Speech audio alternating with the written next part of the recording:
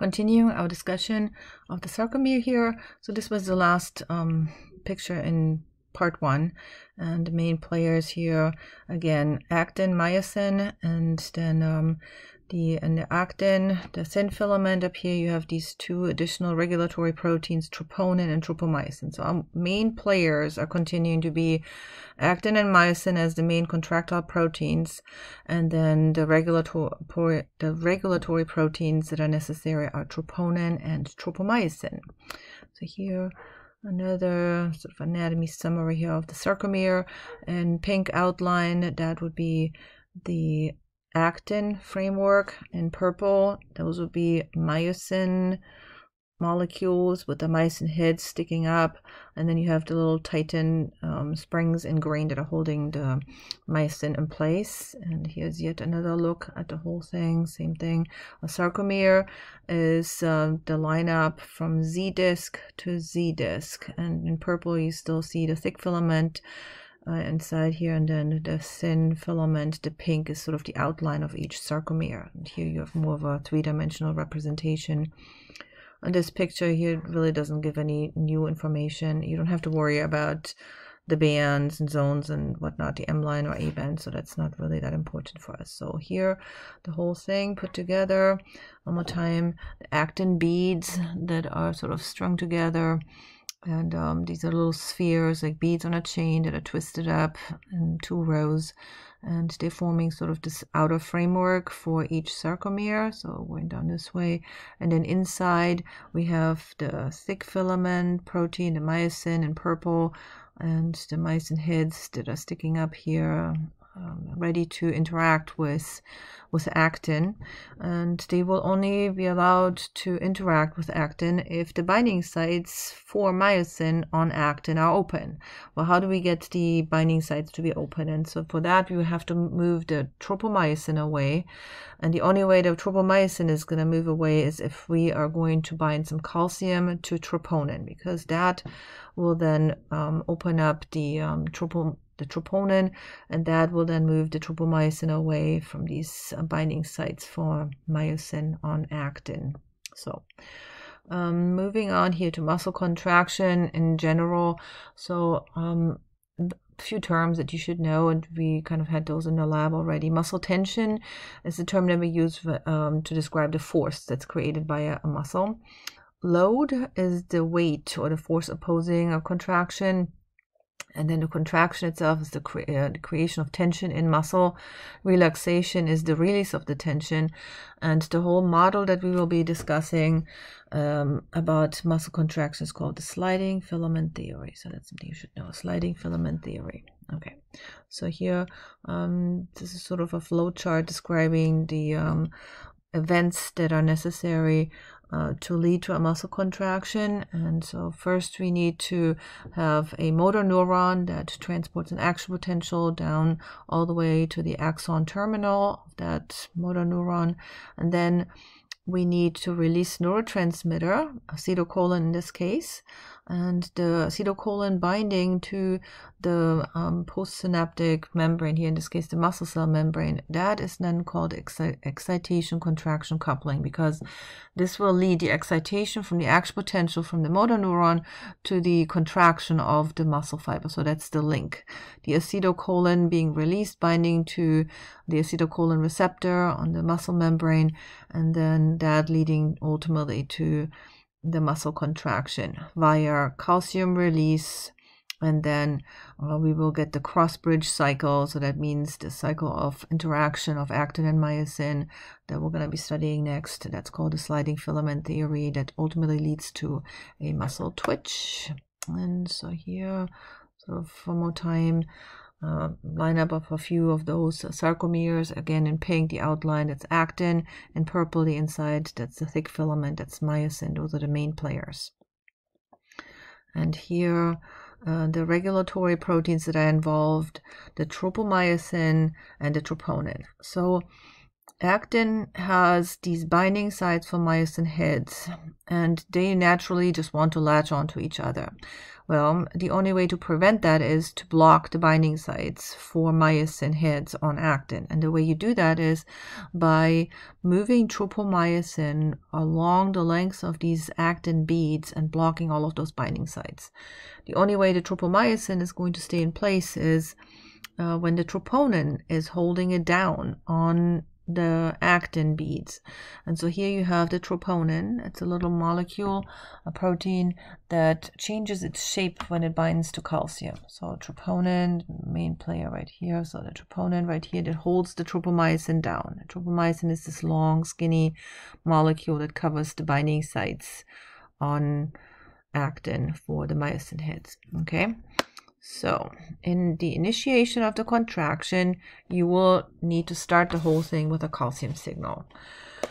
Once calcium is released from the sarcoplasmic reticulum, and it will be released only if there is an action potential that released acetylcholine from the uh, so at the neuro, uh, at the neuromuscular junction, and then the action potential traveled down the T tubules and it opened the calcium gates. Now there's an increase in cytosolic calcium levels. Once that happens, once that calcium is released, it will bind immediately to troponin. The troponin is this little brown thing, and now the green calcium is binding to it. And that event changes the shape of the troponin.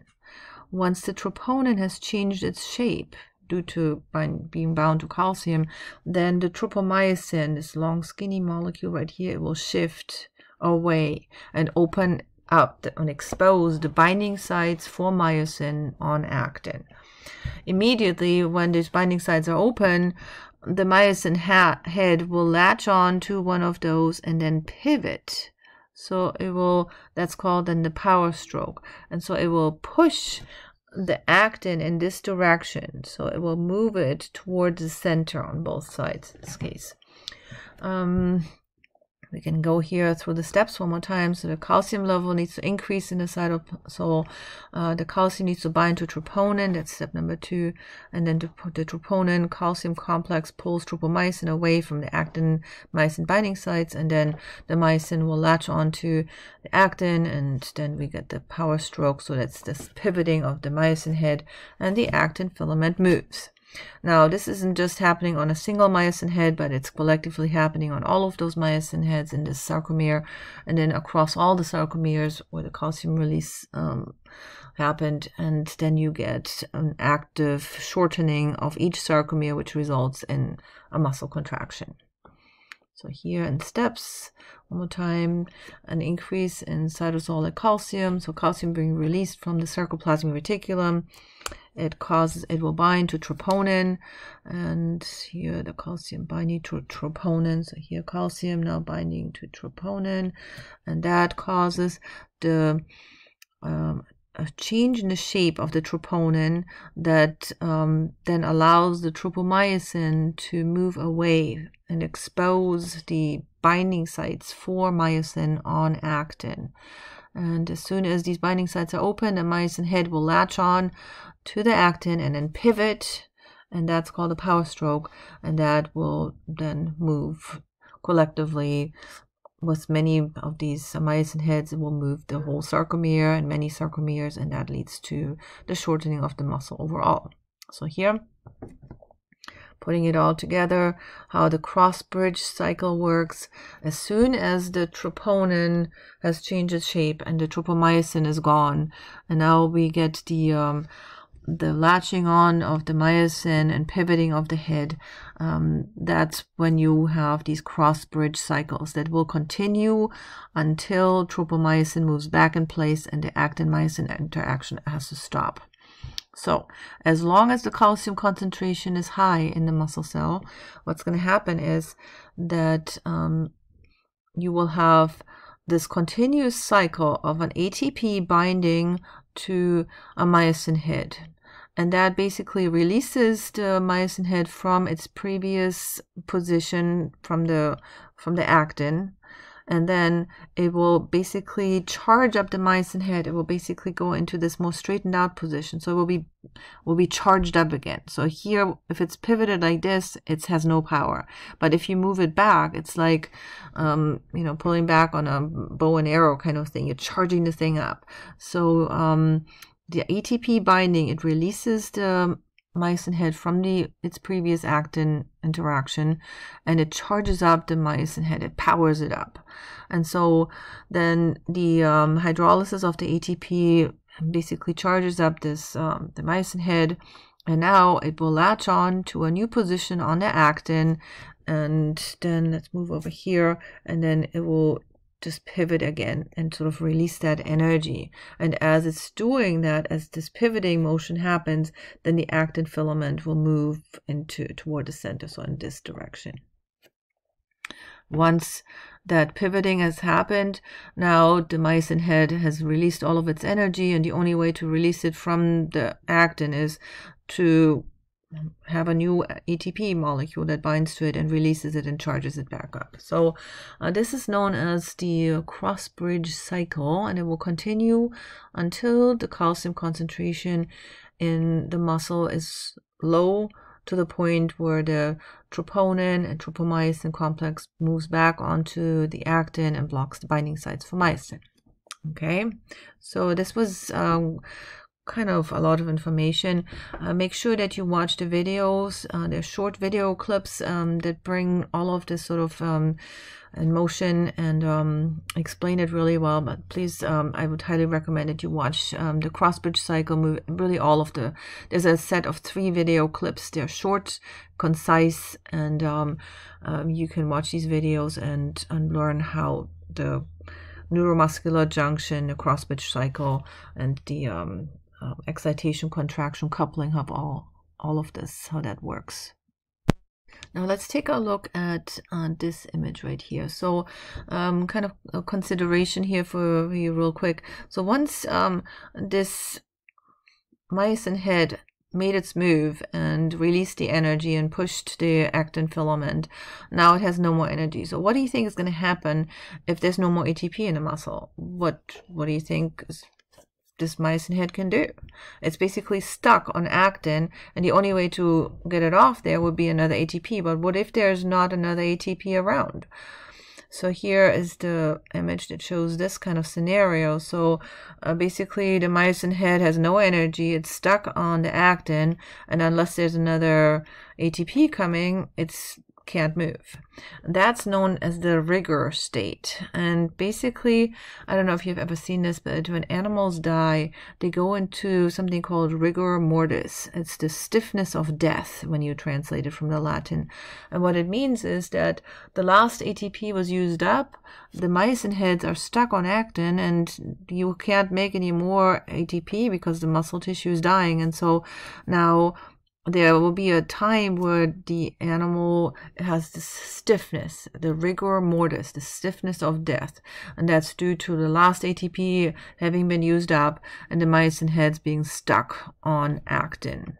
So here, um, there is this tight binding in the rigor state, and unless you have another ATP, um, the myosin is stuck there and can't you can't do much about it. So um, you need that ATP in order to release the myosin head and charge it back up in this position. But uh, please watch the movie or this video clip series um, that will explain it really well. So here, one more time, uh, once the ATP binds, then um, the um, myosin head is released from the actin. It will be charged up and it's ready to bind to a new place on the actin molecule, release the energy and pushing the um, the actin toward the center of the sarcomere.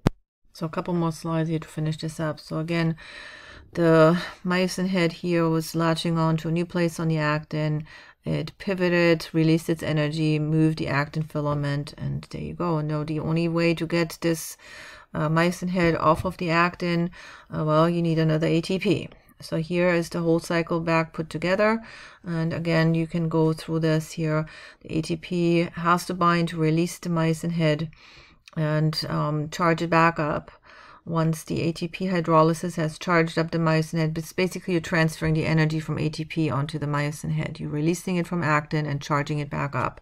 Then the myosin head will latch onto the actin uh, molecule, a new place, and then it will pivot its head over here, and that's the power stroke, and it's releasing its energy, but it's pushing the, the actin filament closer to the center of each sarcomere, and that completes the cycle. And then we need another ATP to start over.